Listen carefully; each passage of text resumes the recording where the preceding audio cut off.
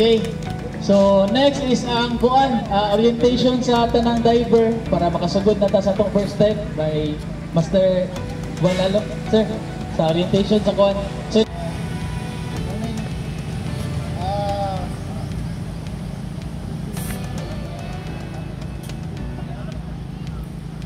I assume na tanang ni appeal ni karon are all certified divers. So, capable to plan and execute the dive safely.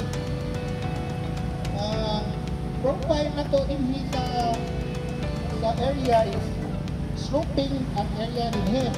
Ang ato ang wall nag-start na din here. So, ang sa floor report start din sugod na dito. Pero ang wall na, na din here ang wall. If gusto mo, if gusto mo mo wall dive, so you start your entry here. If gusto mo og sloping, na straight in here. Okay?